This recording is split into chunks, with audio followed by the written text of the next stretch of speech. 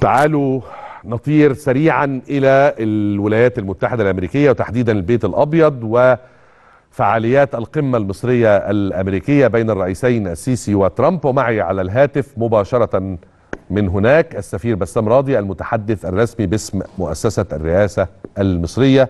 مساء الخيرات يا معالي السفير. مساء الخير يا تامر بيه أهلا وسهلا بحضرتك. آه إن شاء الله تكون بخير وتحياتي للسيد الرئيس والوفد المرافق آه له وأرجو أن تطلعنا على فعاليات ومناقشات ومحاورات القمة المرتقبة ما بين الرئيسين السيسي وترامب. لا هو الحقيقة يعني آه، بشكر حضرتك على التحيات ويعني بحيي سيادتك والبرنامج والسادة المشاهدين. هو القمة تمت بالفعل منذ قليل انتهت منذ قليل. أي. والحقيقة كانت قمة ممتازة كان يعني آه، تباحث في جميع الموضوعات التهم للبلدين هم آه، الولايات المتحدة كدولة آه، حليف استراتيجي لمصر وكدوله عظمى تمام. في العالم وبالمقابل كمصر دولة مركزية وكبيرة في منطقة الشرق الأوسط. كان في شق خاص بالعلاقات الثنائية العلاقات الاقتصادية العلاقات الأمنية العلاقات الاستثمارية أيضا العلاقات العسكرية. كان في شق خاص طبعا بالملفات الساخنة في منطقة الشرق الأوسط القضية الفلسطينية الملف الليبي الملف السوري.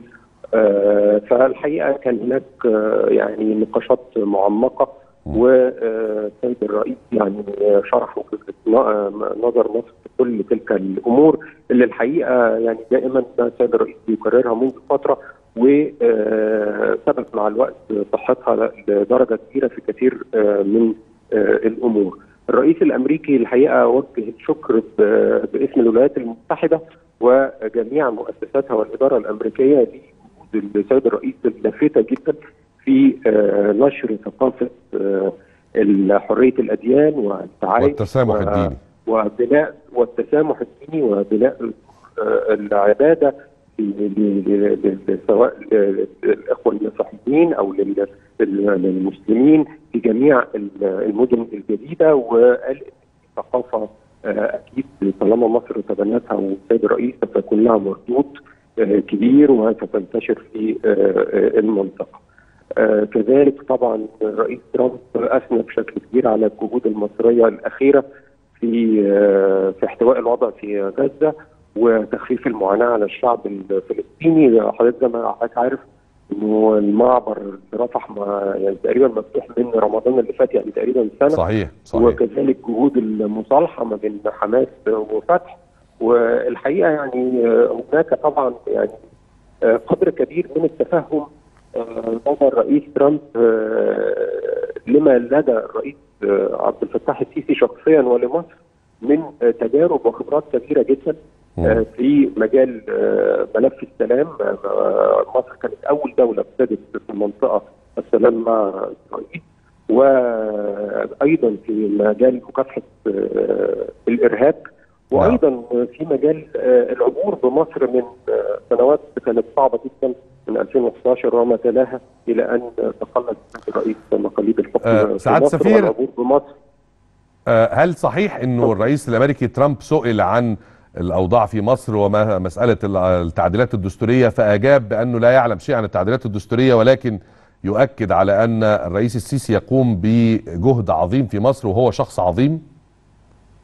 هو الحقيقة ال- هذا الموضوع لم يثار في ال- ال- النقاشات أو المباحثات آه، الموسعة ما بين وفدي البلدين آه. ولكن دعني أقول لك إنه بصفة عامة كان في تقدير كبير جدا لدور السيد الرئيس في مصر وفي المنطقة وفي أفريقيا ودايما. بنقول إنه التجربة الناجحة والتجربة ال- اللي بيكون فيها نجاح ونتائج وقوة دائما ما بتكون لافته ودائما ما بتحظى بالتقدير والمتابعة خاصة من دولة كبيرة زي الولايات المتحدة وطبعا بيزيد من الأمر أهمية إن تكون صاحبة التجربة دي هي دولة زي مصر مركزية ومحورية ولها تأثير كبير في آه، المنطقة. هل آه، سيجرى مؤتمر صحفي علني أم سيتم الاكتفاء بالتصريحات اللي تخرج سواء من حضرتك أو متحدث البيت الأبيض لا هو الحقيقة ما فيش مؤتمر آه، صحفي هو آه، هيبقى فيه بيانات آه، تفصيلية. مم. ستصدر من الرئاسة على وشك الصدور حاليا نعم. وكذلك من البيت ال- الأبيض. نعم. وطبعا يعني لسه ما زال هناك في مقابلات. اليوم مقابلة السيد الرئيس مع فلسطين لاجارد مدير صندوق النقد الدولي للوقوف طبعا على المرحلة الأخيرة من الإصلاح الاقتصادي وبرنامج الصندوق مع مصر. وإحنا يعني مصر على مشارف إنها ستدخل المرحلة الأخيرة ناجحة إن شاء الله. أي. وأمور أخرى طبعا تتعلق بالإصلاح في مصر. وكذلك في آه، في المساء آه، لقاء موسع مع آه، غرفة التجارة الأمريكية و آه تأكد اللقاء ده لأنه كان فيه. كلام عن ترتيب للقاء مع غرفة التجارة الأمريكية.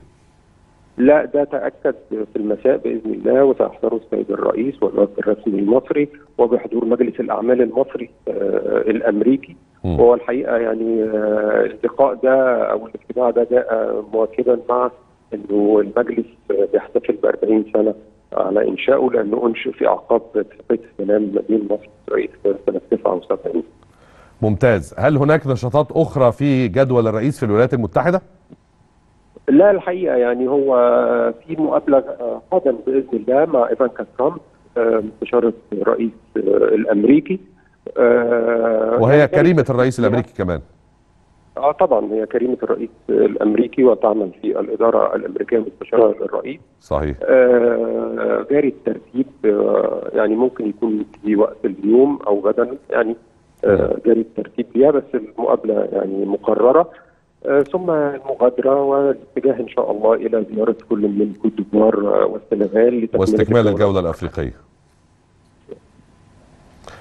سعاد سفير بشكرك شكرا جزيلا. السفير بسام راضي متحدث الرسمي باسم رئاسة الجمهورية كان معنا على الهواء مباشرة من واشنطن بعد لحظات من ختام فعاليات القمة المصرية الأمريكية والمباحثات الثنائية التي جمعت الرئيسين عبد الفتاح السيسي ودونالد ترامب. وكما قال السفير بسام إنه كانت مباحثات مهمة شملت كل الملفات الشائكة في منطقة الشرق الأوسط والعلاقات الثنائية المصرية الأمريكية وكان الجانب الأبرز في تصريحات دونالد ترامب قبل المباحثات وبعدها هي إشادة بالدور المصري والدور اللي بيقوم به الرئيس السيسي سواء في ملف مكافحة الإرهاب أو في ملف التسامح الديني وحرية العبادة وإنشاء دور العبادة خصوصا في المدن الجديدة التي تقيمها الدولة.